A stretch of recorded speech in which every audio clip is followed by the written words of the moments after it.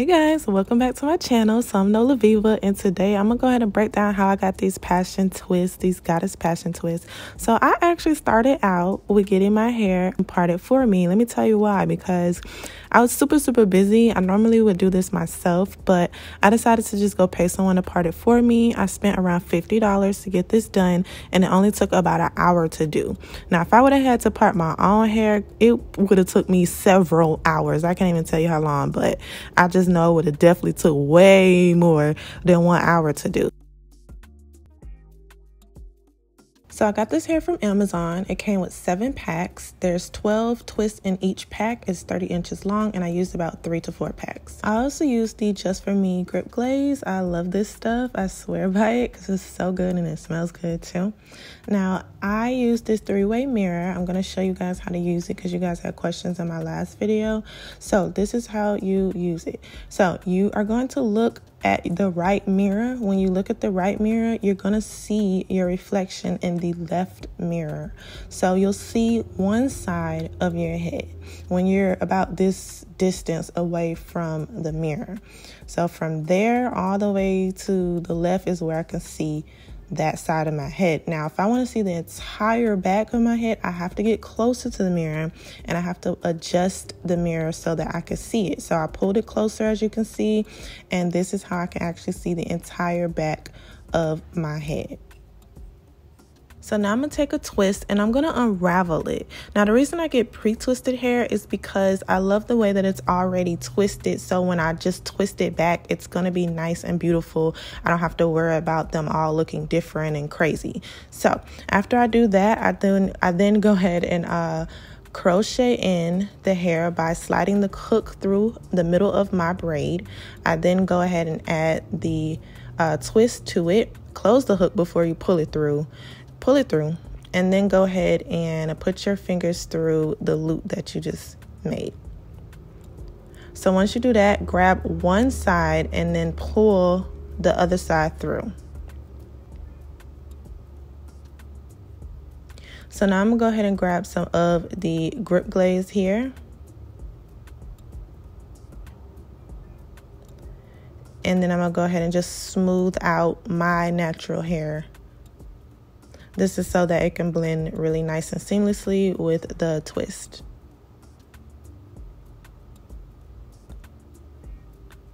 and I wanted to just go ahead and show you guys in real time.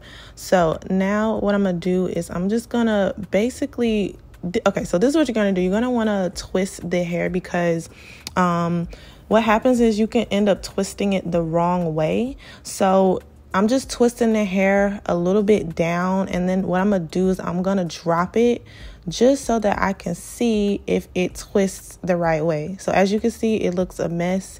That means I'm twisting it the wrong direction. So you don't actually have to um, twist it with your hair. You can actually just pull it off to the side and like just twist the passion twist hair alone a little bit down and then just, you know, see if you're twisting it the right way. Just so you don't have to go all the way down to the end and realize you got to redo the entire thing. Now, what I'm doing here is I'm actually unraveling some of my braid. Um, this just to about right here. And the reason I'm doing this is because I'm going to split my hair and blend it with the twist. Um, just because I was trying different things to see if it would like blend better or, you know, last a little bit longer. But what I do is I three strand twist around the braided part of my hair and then once it gets to where it's straight again um, I split it into into two, blend it with the passion twist hair, and then start twisting all the way down. Um, and I'm gonna show a little bit more broken down um, a little bit further into this video. But uh, grab you guys a clip, clip it to the top of your head, and then go ahead and finish all the way to the end of the twist. Um, so you're not like putting it in your mouth when you're getting towards the end. If you're working with like really long passion twists, like 30 inches. And when you get to the end, it will literally stay as is. It will not unravel. So now when I'm done with two braids on one side of my head, I actually like to just switch my body um, and start working on the other side because it's easier for me. I don't like being super close into the mirror because I don't have much space to work with. Now, um, when I look into that mirror in front of me, I can now see the other side of my head with that mirror behind me. So now this is basically just what my hair is looking like once I'm about halfway done. So I used about three to four packs and there were about 12 twists in each pack.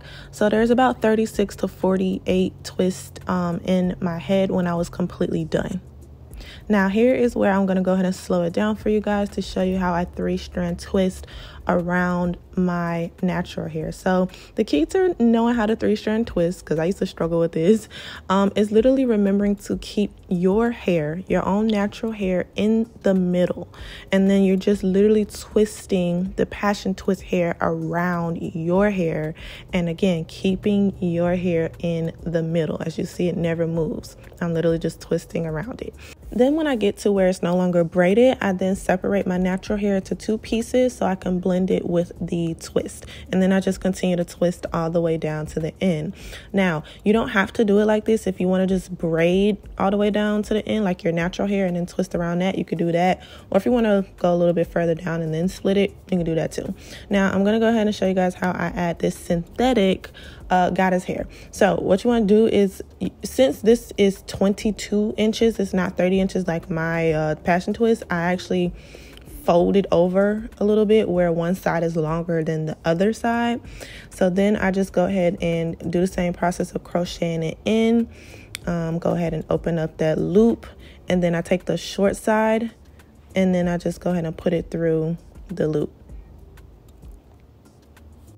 Then I go ahead and pull it into a knot. So the way that I add my goddess hair is by staggering it. So as you can see, the first twist had goddess hair, the middle doesn't, and then that last one I'm going to add it. Now the next row, the first one doesn't have goddess hair, the middle one does, the next one doesn't have any goddess hair. So that's how I do it by staggering it.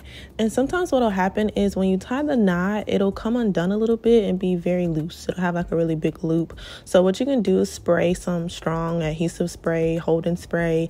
I'm using the Ebin um, adhesive spray um, and literally just hold it there for a few minutes or not minutes, a few seconds or so. You can use something to uh, fan it so it dries quicker, but once you do that, it will actually stay. So now I'm doing my baby edges and honey, these is adult edges because I left out a whole bunch of edges. Um, but that is how that end up looking. And so for the front two pieces, I didn't like the look of two of the goddess hair pieces hanging. So I decided to just go ahead and twist around one side of the goddess hair around the passion twist.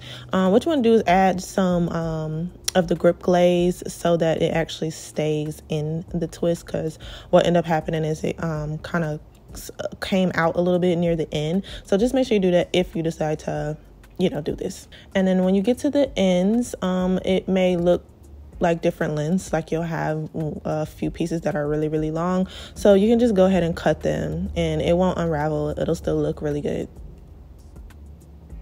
and so, yeah, guys, that is how I got my Goddess Passion Twist. I love it, y'all. It is so light. It's not a heavy style, even though it may look like it. So, what I'm going to do now is just go ahead and show you guys how the hair looks with the synthetic hair. And I'm going to talk a little bit more about the synthetic hair. I'm going to show you guys what it looked like after a week. And then I'm also going to show you guys how to add human hair. Um, so, yeah, let me just go and show you guys the results of the hair.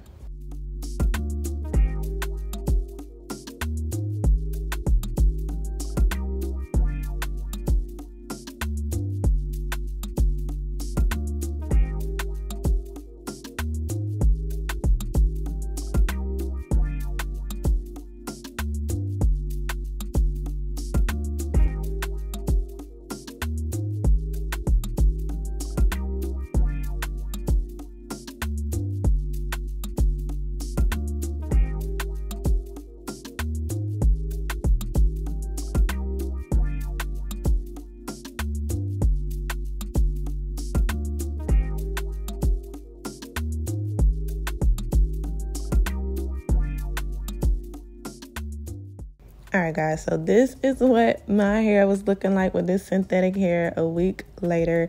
This hair tangles up a lot because it is synthetic. Um, I guess the grade of it as well is just not that good a grade. Um, so just keep that in mind. It is an affordable option, but it definitely tangles a lot. So I did end up buying a human hair bundle from Amazon as well. I have all the stuff linked down below in the description as well as a pinned comment. But what I ended up doing was just go ahead, um, going ahead and cutting a little piece away from the weft, and I went ahead and pretty much did the same process. Now the only difference with it being human hair is this actually is um 26 inches, I believe, while the other hair was 22 inches and they look like the same length. Now, this is a lot shorter. So, what you're going to have to do with this um, is you're going to have to add like maybe two um, human hair pieces to one strand. Um, so just you know keep that in mind. You can still do one, but it's going to be a lot shorter. Um, but what I'm doing is I literally just you know crocheted in, tied a knot around the hair, and be careful when you're working with the human hair because it can easily separate um, with the frayed ends. But once you do tie the knot, it'll look something like this. Make sure you definitely spray some type of holding spray um, and pull it where it's tight and then hold it there for a few seconds. Grab a fan or something, or you could just use your fingers and, like, you know, tap it. Um, just help it to dry very quickly. And then once you're done, add some of the grip glaze and then twist around the other side, um, you know, around a passion twist so that it will stay. So this is what it would look like when you're all done. And again, this is 26 inches of human hair. So it will appear a little shorter than the 22 inches of synthetic hair because that hair is actually folded over. So what you can do is you can actually just add another piece of human hair to the same exact twist, just a little bit higher up and it is really snug. It doesn't go anywhere. But i hope you guys found this video helpful. If you did be sure to give it a thumbs up. Subscribe for more if you like and i hope to see you in my next video. Bye